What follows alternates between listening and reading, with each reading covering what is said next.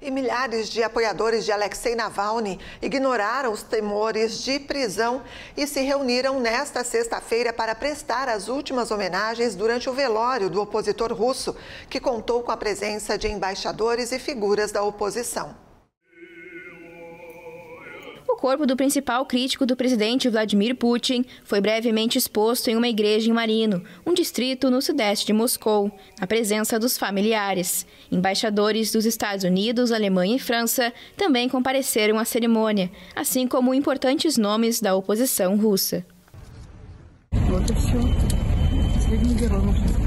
Ele foi um herói, o último herói de nossa pátria. Todos sabem disso, que ele foi um mártir, um santo mártir. Quem veio hoje aqui pensa dessa forma.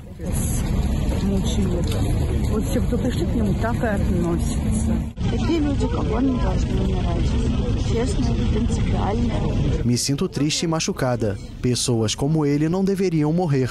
Honesto, com princípios e disposto a se sacrificar. Ele foi até o final. Temos muito orgulho porque ele era uma pessoa incrível.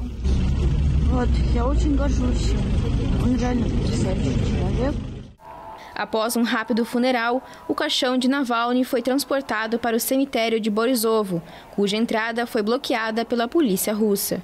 O opositor morreu inesperadamente há duas semanas numa severa prisão do Ártico russo, em circunstâncias ainda não esclarecidas. O laudo pericial informou que o óbito se deu por causas naturais.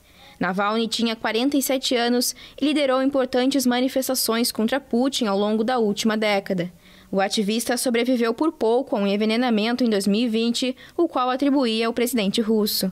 Navalny estava preso desde 2021 e cumpria 19 anos de reclusão após ser condenado por extremismo.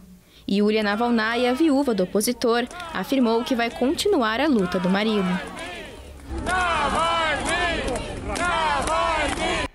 E aí, gostou desse conteúdo? Então dê o seu joinha, se inscreva aqui no canal da Pix TV e ative as notificações no sininho para não perder nenhum conteúdo.